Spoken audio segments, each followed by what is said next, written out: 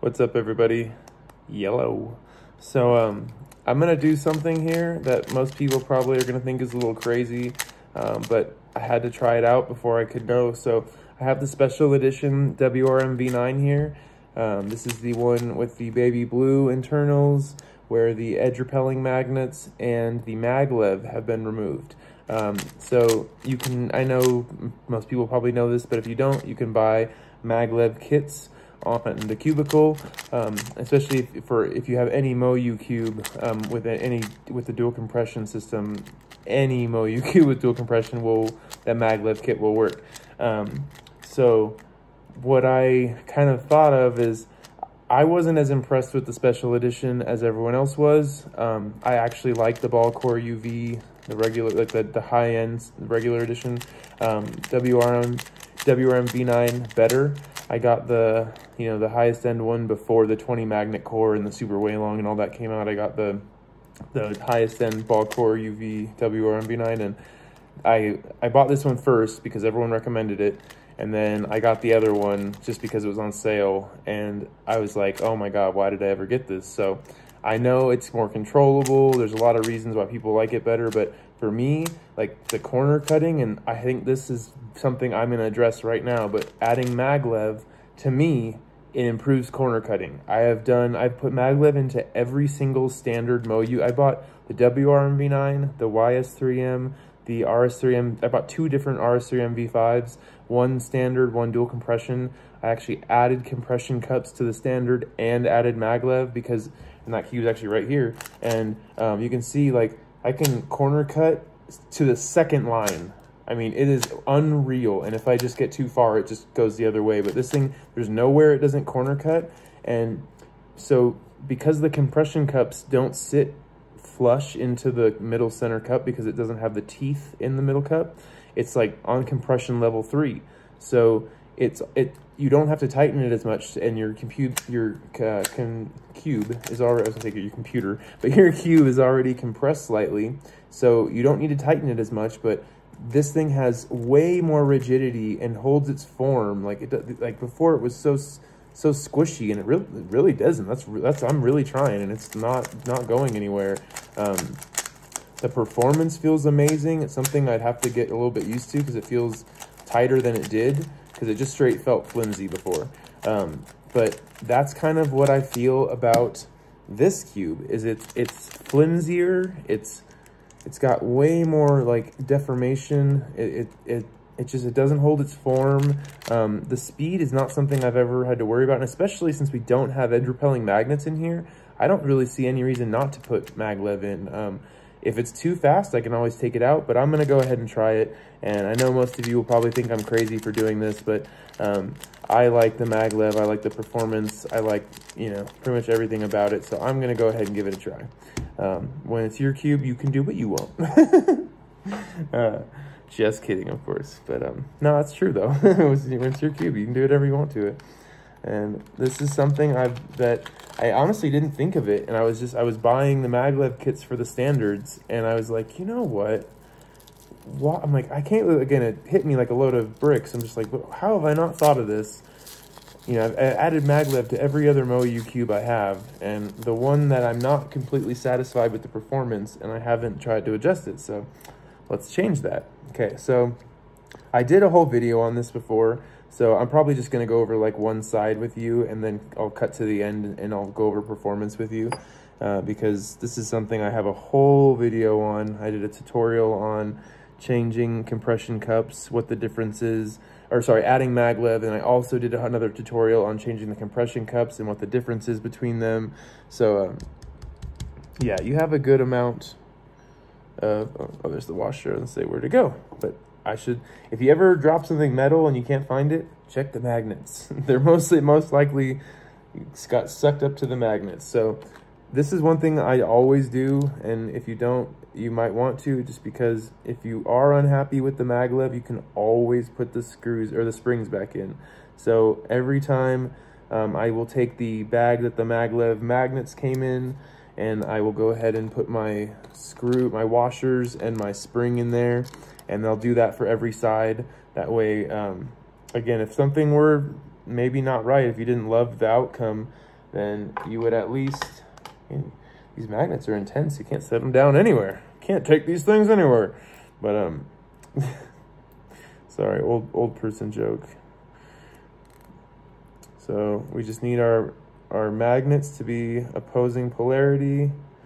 This is, this is the easiest, like when dealing with magnets and cubes, it can be a little bit daunting. Like that's why I've been trying to do lots of videos on magnetizing my cubes and whatnot is, or magnetizing the, give the giveaway cubes and stuff is because it's not as straightforward as people would make you think. I mean, it is on a 3x3, but like something like this 2x2, it was, you know, it, it's still straightforward, but conceptually when you're thinking about it, it, it, just, it doesn't make a lot of sense until you see it done, until you physically lay it out and do it. Um, but, so there's one side in. Uh, let me get a paper towel and wipe this. I'm getting like grease all over the top, but now we have maglev in that side. Let's see. That's actually about the perfect uh, tension. I have this on zero compression, so I'm gonna I'm gonna turn them all to one, just cause why not? Like zero compression seems like like I'm not trying or something. But all right, so I'm gonna just cut it there. I'm gonna finish, and then I'll cut back when I um have a a final verdict. Ooh, the top layer already feels better. I have a feeling my answer is gonna be this is way better. Oh my gosh. Oh, I think I can tell you, but let me let me put the rest. But so I mean, it is faster. I will say, um, but and it, but because it doesn't have the edge repelling magnets pushing and pull, you know, and forcing those turns, it actually feels so good. So let me finish and I'll get you a full, a true, oh my gosh, even just the top, just moving the top layer, you can feel it as it move the bottom layer and it's like a, drastically different. I mean, whole different cube. So let me finish this up. I'll get back to you soon. What's up everybody? Yellow. So um, in the last clip, I was just talking about how I'm to take my WRM V9 Special Edition, and I'm going to go ahead and take the springs out and re-add maglev because I'm just personally not impressed with the performance of that cube. Um, I know it's a lot of people's favorites, and it's like the answer to the V9 being too fast, and there's a lot of things why this was, cube was supposed to be the best, but and I bought it for those reasons and was not impressed. So I'm going to go ahead and, like I said, I wanted to give a review on the performance after adding maglev. So you saw me in the last clip, I added maglev to the top and I just started feeling it and it started feeling really nice. And so I was like really excited to get the rest of the cube done, which is done. Um, so one thing I want to explain about why I did this too is because um, I, I really didn't have the idea until I started putting maglev into all of my standard cubes. So I'm not like a sponsored cuber. I don't get like, when I buy a cube, I buy one cube. Like most people, when they're sponsored, they get like every version of a cube so they can feel the standard, the dual compression, the mag, just maglev, the ball core UV maglev, you know, the decked out version. They can feel them all next to each other. I really haven't had that chance. So um, it wasn't until I bought the maglev kit and inserted it into a standard cube and and this is where I'm going off of everyone else's reviews so far, and they all said that the maglev wasn't as good, and they just preferred the standard, but I don't feel the same way. Um, so let me explain why. Uh, this is a standard RS3M V5.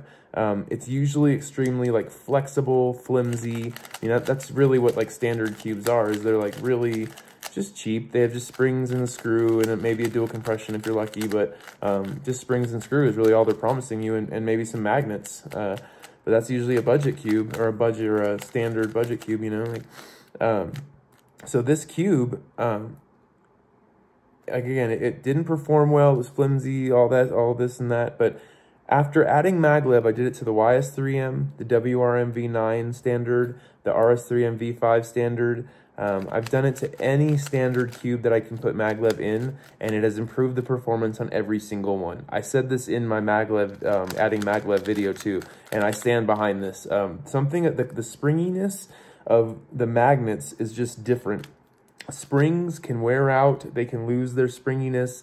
Uh, it just there's no guarantee those are going to last forever. I mean your cube is definitely also going to change feel over time. Where maglev i mean they, magnets can lose their polarity slightly or whatever but i feel like it's going to be a lot harder for magnets to be demagnetized and totally stop working in this rather than a spring kind of either breaking or wearing out or whatever. Plus these are are silent. There's no spring noise. There's I know spring noise isn't a problem for a lot of people, but I'm just saying that is a plus. Um, but so yeah, I have this now, this standard cube that has maglev and it can literally like corner cut. So this is, this is 45. This is at like one line. This is at two lines forward corner cutting. It, it will corner cut anywhere. So reverse, I mean, let's go, I mean, anywhere you put it, it'll, it'll reverse or forward corner cut now. And that's something that wasn't happening before with the springs. And I just believe that the maglev springiness is just, it's different. And it, it allows for more forgiveness because you can literally compress that all the way up until the magnets are almost touching and they're going to give you that really good bounce back. Because that's the other thing about magnets is the closer they get together, the more intense that that re like repelling you know power is. So when you get really close, it's gonna push back and snap, and that's where some people don't like that snappiness. I like it. Um, and you can hear it in the corner cutting. It's a little bit like snap, snap, snap. I mean, it's a little bit like harsh, you could say, but like at the same time, if it can corner cut anywhere, it's not that harsh. Um, and so this is just an example of why I got into this project. So now let's switch over to the WRM V9. Um, this has had all all sides at maglev put in. I've adjusted it and tensioned it slightly. Um, it's still, I think I, put it to one compression just because I wanted to see if it made any difference. And I'm probably going to turn that up to like three or something now, but because it definitely is different. Um, it's, um, how do I explain this? Um, it's, it's like more. So and i said okay so i said this in the actual versus the unboxing. I said this in multiple videos about this cube is i had a very hard time when i got it matching the level of tension that worked for my turnstile with performance. So like i could hardly there was times where i couldn't even corner cut at 45 degrees. And again this is supposed to be a special edition better than their top of the line cube and whatnot. And i get it and i couldn't even corner cut at 45 degrees I had to loosen it or find some way, and that's why my compression was never anything higher than zero. I figured if I if it doesn't corner cut at zero compression, how am I going to make it tighter? So again, I felt very restricted. I really have barely used this cube because of it. That's, that's a $44 waste of money in my opinion. So for the like $5 or whatever the maglev kit costs, I figure I can turn it into the, a cube that I'd actually use. And I was right. Um, I, at least in my opinion, this is, and I, that's what matters because I'm the one that's using it. But um, I truly stick by the fact that I think maglev is better in almost every cube. Um, there's probably some original like standard cubes that are great with springs and whatever, but I just would say that if any cube I've added maglev to, it's improved the, the quality and the performance. I mean, it's it's so smooth.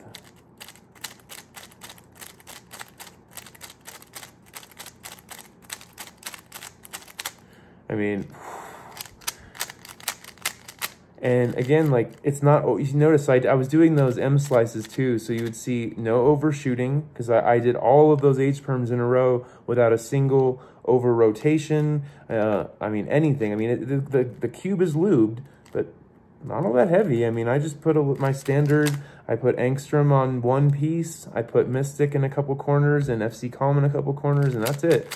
I mean, this thing is not slowed down to the point of like, you know, where that, that would be the, the difference. I mean, it's definitely the maglev, but um, also one other thing, this is just a stupid little hack that I do, but it's helped me. So when I'm, I still have my pieces here. I'm about to finish the customization. Uh, um, I was, while I was waiting for these to dry, I figured I would add maglev to my cubes, but, um, so the cases, your Moyu cases, uh, I'm just going to say they work really well for holding your tools and whatnot. So like this is my spring or my mag my magnets, which if you have ever magnetized anything, you know that if you have anything metal anywhere, their magnets go flying everywhere. You have screwdrivers going towards the magnets. I mean, it's it's crazy where I found if I just set them in this, you know, one side of this box, um, they tend to not go flying everywhere. And I mean, and look at they're, this is, these are all my, so secondary, this is all the springs. So I save all of my springs. I'll go ahead and write on here, uh, WRM V9SE. And so I know if I ever, you know, don't like this maglev setup, I can just go ahead and pop the springs back in. I have all the springs for every cube I've ever I've ever taken it out. This is what I say. I don't get rid of things really. I save them because you never know when they're going to come in handy. But I've also noticed all the springs were different. Uh, the YS3M springs were different from the WRM springs, were different from the uh, RS3M V5 springs. So that's why I had to label them all too, is because if you want them to return to feeling how they felt, you need to put the right ones in. Um, but yeah, I think that's about it. Um, like I said, that little tr trick, I it's just, like I said, this is just keeps all of your pieces nice and organized. You have, I had my bag of springs in here, so I could just keep putting my springs in as I went, pulling my magnets out of here. Otherwise, I mean, I, I found some like metal washers underneath here that I didn't even know existed because, oh, sorry. Sorry about that. My earpiece fell out. But um, I, I, found some metal washers where like the magnets were sitting on my table and underneath my cubing mat, there's a washer that must have got under there somehow. And I'd be like moving it and it was like lifting up my mat. And I was like, oh, what, what is that? And so yeah, you just, it's so much easier if you keep your, your project kind of contained instead of having just stuff everywhere. Like it probably even looks like this is kind of messy, but this is actually very organized. I have all of my pieces um, for the magnetization. So here's your you know, the sides all magnetized. Oop. But you can see the magnets are doing their job. Um, but anyways, this is not about the magnets and all that. This is not about that project. I just was saying that I keep my space pretty organized. I have like three projects going on right now, but I don't feel overwhelmed. And I'm someone that I can get, I have a little anxiety sometimes. like I have a little, get a little claustrophobic when too many cubes and things get all around me. But again, like this helps me feel organized. I have like, even now I can put all of my torpedoes from all of my corner pieces for my next project, put them in here. Um, pretty much, I just think these are great little containers for using during your projects. Um, but that's just a little, little like hack, I guess I'll call it for me. Same thing, like I have more magnets. I can put that in my magnet one and everything's organized. But this is just a little, a few little tips. But you guys have a great night and uh, yeah, check out the maglev. You guys have to tell me, you know, what you really think. If you have to try it for yourself, maybe. But um, because again, if you can always put your springs back. There's not like it's a it's a permanent thing or anything. But um, I have to say this. It actually this is almost like I feel like what the, the special edition should have been because if you didn't want that like auto alignment feeling, then absolutely get rid of those edge repelling magnets. But personally, I think this re-increases the performance again because I think that brought the performance way down by putting those springs in there. So I think this this brings the performance back up, and um, yeah, and like I said, it's not it's not too fast by any means. It, it was I don't think it was the maglev. I think it was them working together. I think it was the maglev having no friction, turning so easily, but then also the edge repelling magnets pushing the, the layers to move. Um, so again, with no edge repelling magnets, this thing is like perfect. Um, again, I would love for someone else to try this. Maybe let me know what you think if you do, um, or if you have any questions for me, if you're considering it, please let me know because um, I would absolutely recommend. Oh gosh, it's so smooth. Like I, hands down, there's no comparison. Um, I again, I know there's gonna be the anti maglev crowd out there that's like, nah, but if you're into maglev, give it a shot. It's super worth it. Um, I know there's a lot of people out there that, that went ahead and bit when this cube came out. So um, yeah, if I can help you make it better, I will. So, uh, and again, if you love it the way it is, then rock it. I'm not telling you to change anything. I'm just saying this is what worked for me. So you guys have a great day. Peace.